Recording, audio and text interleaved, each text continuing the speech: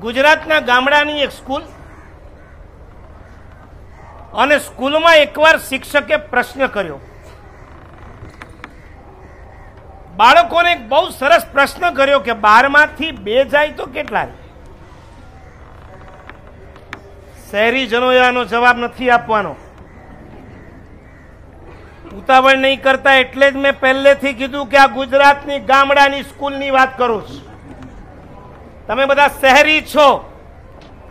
તમારો જવાબ તમારી અપેક્ષાએ સાચો હશે. પણ ગામડાની અપેક્ષાએ ખોટો પડી જશે.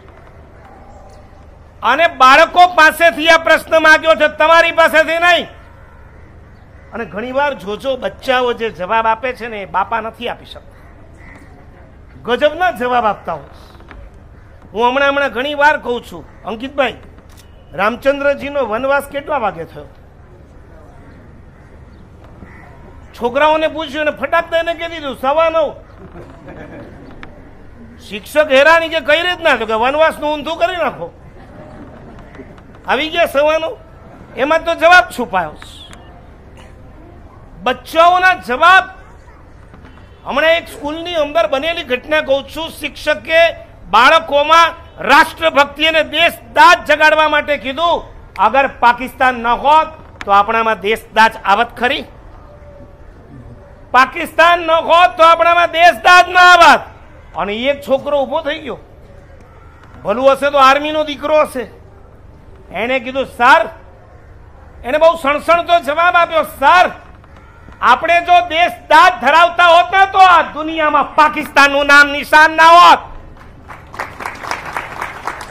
પાકિસ્તાન છે, માટે આપણામાં દેશદાજ છે, ગલત છે. આપણામાં દેશદાજ હોત તો આ દુનિયાના નકશા ઉપર પાકિસ્તાનનું નામ ન હોત. બચ્ચાઓના જવાબ, તમારી પાસે તો ટાઈમ નથી. અમારા ગચ્છાધિપતિ પાસે ટાઈમ છે. નાનામાં નાનું બાળક એમની કેબિનમાં ઘૂસી જાય તો એની સાથે બે મિનિટ વાત કરે છે.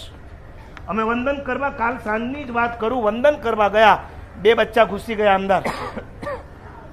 મહારાજે ચાર પેન કાઢીને કીધું, લ્યો, તમને એક એકને ભેટ.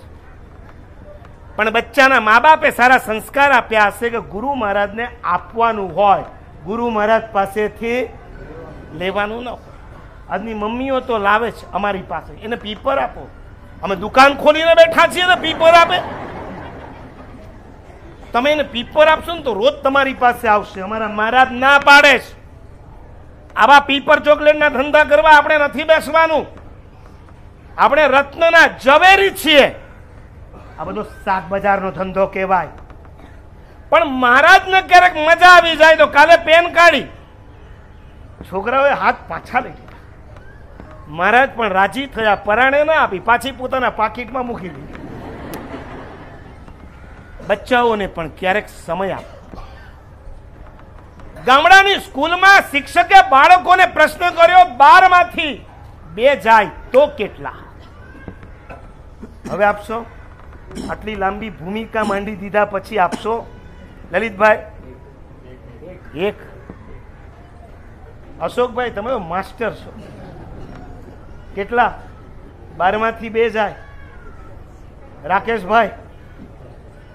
અંકિતભાઈ ઘણી વાર કહે છે કે આપણે છે ને બાજુવાળાને શોધતા હોઈએ છીએ. એનો જવાબ શું? આપણે આપણો જવાબ નક્કી નથી કરતા. હમણાં અશોકભાઈ શું બોલશે એ આપણે જોવા બેઠા છે. એક. આ બચ્ચાઓ હતા, એને કહી દીધું, બારમાંથી બે જાય તો જીરો. સરે કીધું, કઈ રીતના? છોકરો, ખેડૂતનો છોકરો હતો. એણે કીધું, સર, બાર મહિનામાંથી અષાઢ અને શ્રાવણ જો ચાલ્યા જાય, આકાશમાંથી મેઘ વરસે નહીં, પાણી ન વરસે, મારા બાપાના ખેતરમાં ધાન ન થાય, અને જો ધાન ન થાય, તો તમારા ઘરમાં ખાન અને પાન ન થાય અને ખાન અને પાન ન થાય, તો આખી દુનિયા જીરો અષાઢ અને શ્રાવણ જો નીકળી જાય, તો આખી દુનિયા જીરો થઈ જાય.